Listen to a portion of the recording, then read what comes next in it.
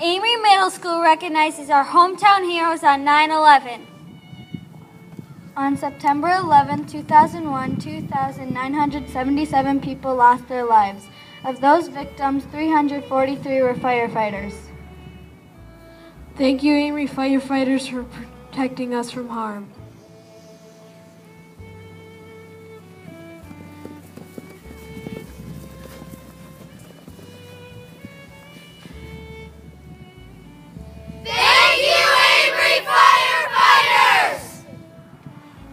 You to Amery Police Department, Polk County Sheriff's Department, and emergency responders for keeping us safe.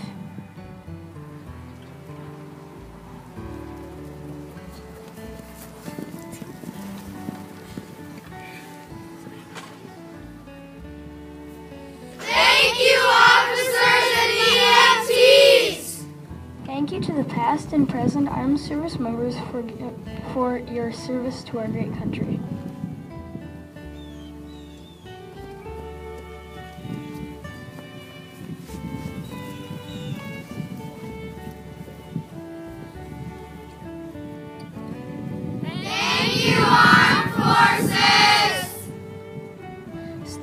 Staff at Amery Middle School honor those who died at 9 11 and recognize our local heroes.